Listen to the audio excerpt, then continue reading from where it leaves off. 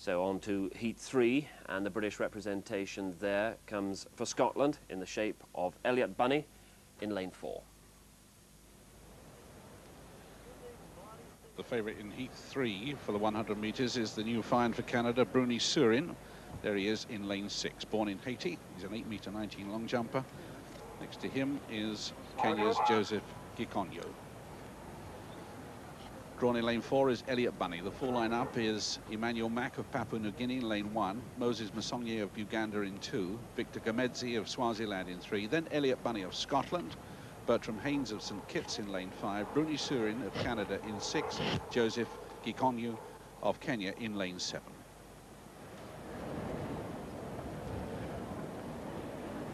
Surin, 10.14.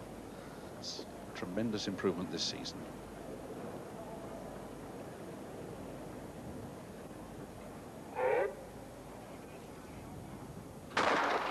First time, no break at the moment. Elliot Bunney going well. Elliot Bunney in lane four. Bruny Surin getting well. On his left is the uh, is Moses Magonyu, but uh, it's a stroll for Surin at the end of the road. It's a stroll, and then Moses Musonge of Uganda, who's a 10.39 man, but Elliot Bunney coming through comfortably because this first five plus six go through to the final. 10.49 the winning time and the wind was slightly over the allowable limit, plus 2.1. So Bruny Surin of Canada, he could be a man to watch in the final as well, safely through uh, in fourth place, Elliot Bunney of Scotland.